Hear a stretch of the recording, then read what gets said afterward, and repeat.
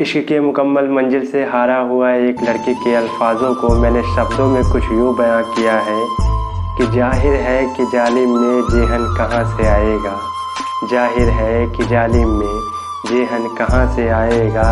इलाही एक गवाही है। इलाही एक गवाही है, समय तेरा भिलाएगा अभी उल्लास है, खुशहाल है, लेकिन सब्र कर ले। मेरा आज रोया है, तेरा हर बार रोएगा मेरा आज रोया है तेरा हर बार रोएगा।